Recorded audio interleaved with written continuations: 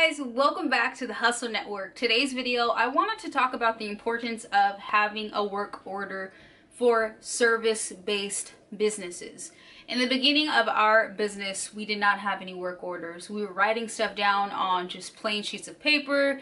It was kind of to the extent where it was just getting messy, way unorganized, and we had to find a better way to organize. So today's video, I'm going to show you what your work order should look like. Keep on. So here I'm going to go ahead and list the work order and then we will just discuss it, talk about it, uh, the importance of having some of these things listed on your work order as well. So one important key factor is the move date or time or if you have another service-based business, any move date and time is important. You need to put on that work order the date and the time that the service needs to be completed the booking date. There's lots of times where I was just moving too fast uh, when I was using these work orders and I didn't put the booking date. And there's times that I did put the booking date, which helped me because there was some information missing. Type of move. Now you can do this, like I said, before I say anything else, because I don't want to have to keep repeating it, you can change this work order however you want to whatever service you want. This one is specifically for moving, so do how you want to do. Okay, so this one says the type of move. So box truck or pickup. Um, if it's a U-Haul size, if you're just providing labor only, uh, are you loading, unloading, or are you doing both? We would just circle both.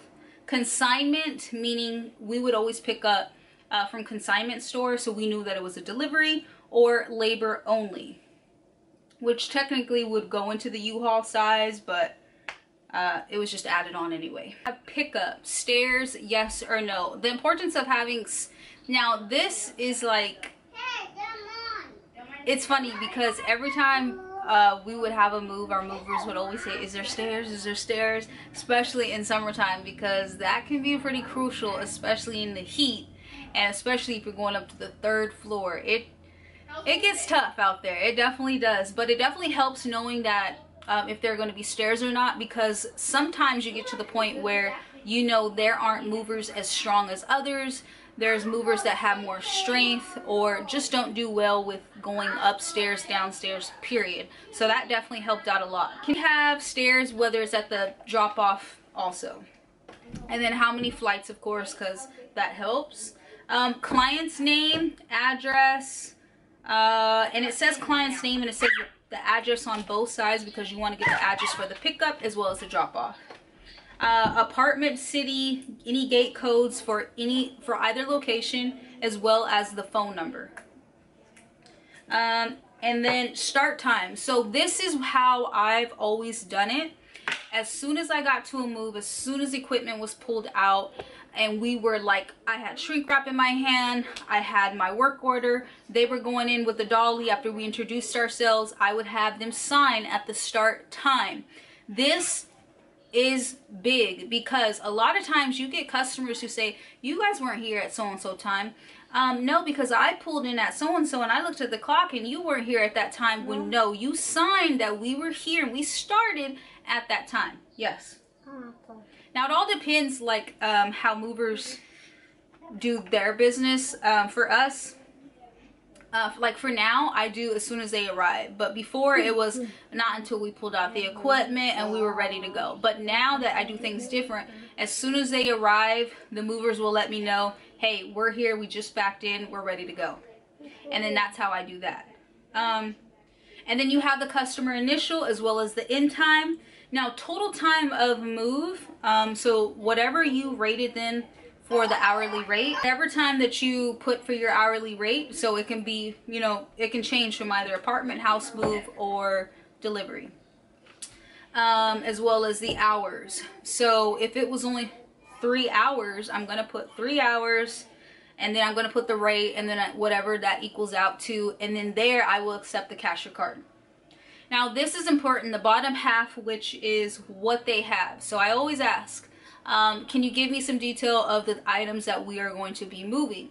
Sometimes customers uh, downplay their move or they either just have way more than what they said that they did Um, and they sometimes do that because they're trying to get the best rate and they don't want to say that they have much. So they will try to, uh, of course, say that they don't have that much.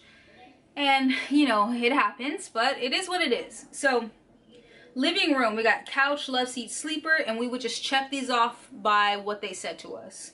Sectional pieces, if so, how many pieces? It could be two, it could be six, it could be four. Entertainment center, coffee table, end table, TVs, recliner chair, large rugs, dining room. Do you have table and chairs? Do you have any lamps? In your room one and room two, what's the bed size, the dressers, night tables, headboard, and footboard? Because that gives us a good idea of how much room we're gonna need for all this. Other, bookshelf, china cabinet, armoires, desks, piano, boxes, bags. Because a lot of times I get customers who just have bags. Like literally we're just putting bags into the truck um, and file cabinets. At the down below is the assemble or disassemble. So do they want us to put things together and take them apart? That is important because you need to know if you're going to be taking things apart because of course taking things down does take a little bit more time, especially if you're not used to doing the same thing each and every time as like a white glove delivery. Um, then you are going to need to be able to make sure that you have tools for disassembling and assembling. Now, appliances, do they have washer, dryer, or refrigerator? A lot of times moving uh, apartments don't have washer, dryer, or fridge, but you do in those instances have uh, apartments that are moving washer, dryer, and fridge. And comments down below. Now, comments is where I kept um, stuff like they want us to turn on this street. Um, make sure to call customer five minutes before arrival. Whatever notes, whatever important details, I just put it down at the comment down below.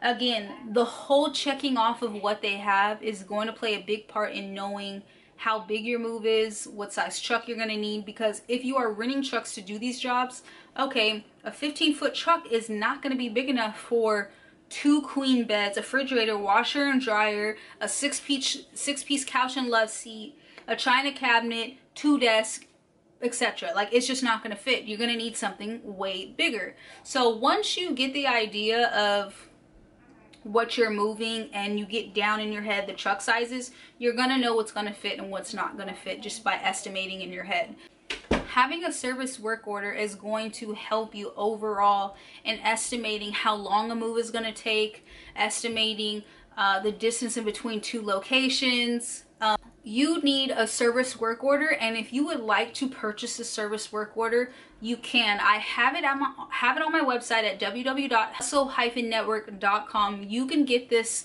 work order here right now all you have to do is click the link below or copy and paste the link. Purchase this for seven dollars and be able to get it immediately.